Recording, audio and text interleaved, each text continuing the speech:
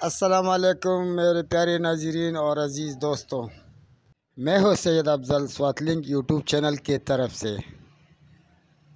आज हम बरास्ता motorway Peshawar airport जा रहे हैं। मेरे साथ मेरे भाई और बच्चे हैं। मोटरवे पर तीन टनल आती है। बहुत प्यारे है।